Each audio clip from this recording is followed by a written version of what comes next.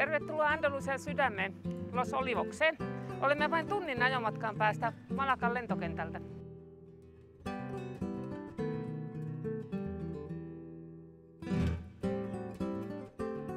Olemme Alosainassa.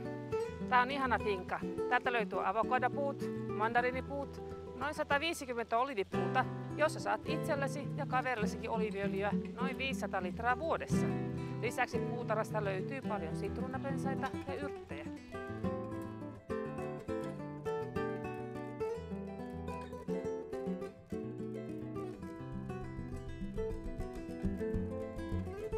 Tässä finkassa riittää tilaa isommallekin porukalle.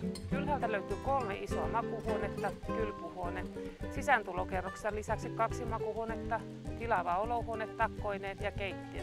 Lisäksi pihalla on uima-allas ja suomalainen sauna.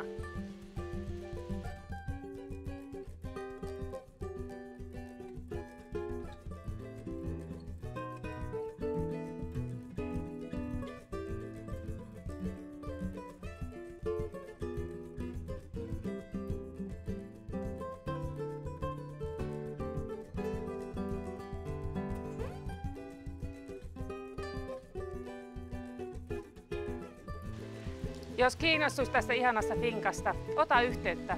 Olen Liisa Sunnomalta, välittäisi aurinkorannikolla.